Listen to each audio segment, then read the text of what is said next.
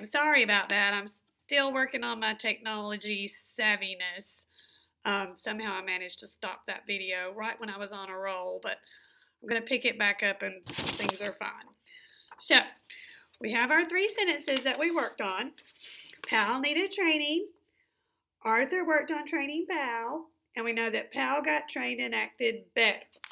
So we're going to take sentence number two.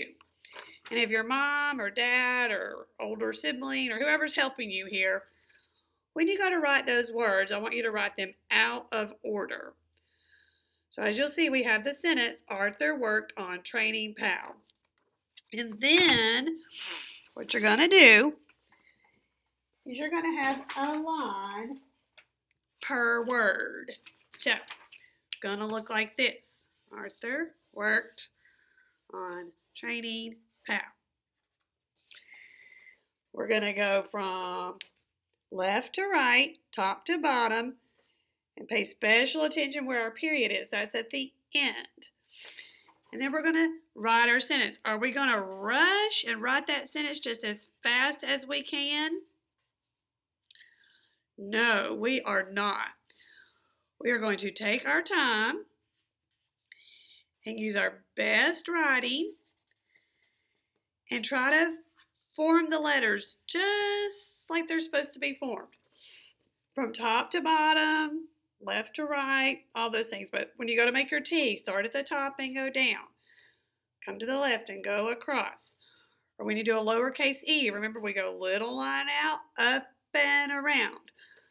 So really think about how you're forming those letters. Once you get the sentence written, Arthur worked on training Pal. I want you to write your first and last name. A lot of you can do your first name, but are not 100% on your last name. So this break is going to be a good time to work on first and last name. You'll hear me say that a lot. So we have our sentence and we wrote our name. Good job. So the next thing I want you to think about doing as we work together today is I want you to find either a cereal box or maybe a little box that you had a frozen meal in, some sort of cardboard. And I want you to get it with a pair of scissors. If you don't have scissors or you don't have Play-Doh, I want you to feel free to reach out to me and I will get those to you. I'm assuming that most of you have those two things. Um, but if you don't, I'll be glad to bring them to your house uh, during this time that we're shut down in Gordon County schools. So just let me know and I could deliver them to you somehow. I wouldn't have to come in, but I could just bring them to you. So I want you to take your cardboard. It's a little thicker than paper, and I want you to work on cutting out 10 pieces. And I want them to all be at least as big as your thumb. I don't want them to be tiny. And I want you to cut out 10 and count to 10. We'll probably do like different numbers every week, and this is something that I do have my kids do from time to time.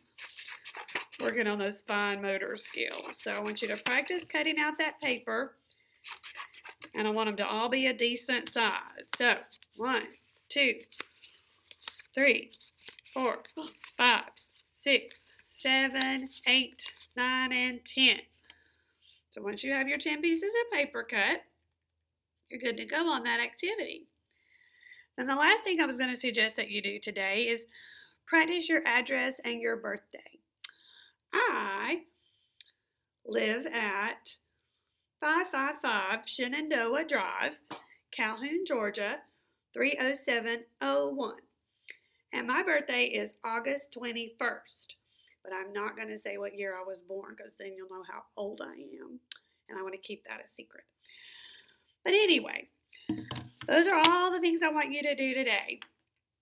And then the last thing I was going to suggest was give you some general motor planning, self help ideas that you're going to hear every week that we're off that I want you to practice.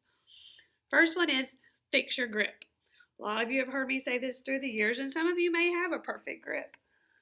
If you hold the pencil or the marker like this, meh, wrong.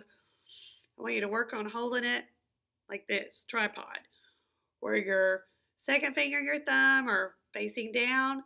The writing utensil is resting on that third finger, and these two fingers are tucked. Parents, if you're trying to help somebody with this, you can work on holding something with these last two fingers. Really work on fixing your grip during this time. Another thing, practice buttoning and unbuttoning. Now, we don't wear a lot of things that button and unbutton, but that's a good skill. Third, make sure your child can take their socks and shoes off and on. If you've got an older child, you could work on learning how to tie shoelaces. You can find good videos for this online. And then last, work on independence with the nightly routine. Things like brushing teeth, taking a bath, washing hair. Now that you're going to have a little more time together, it's a good time to practice those things. So just work on um, your child increasing independence. And if you're just a child watching this, then work on becoming more independent. And anyway, this concludes week number one, and I will see you guys again next week for week number two. All right, take care. Mwah. Miss Trish loves you all.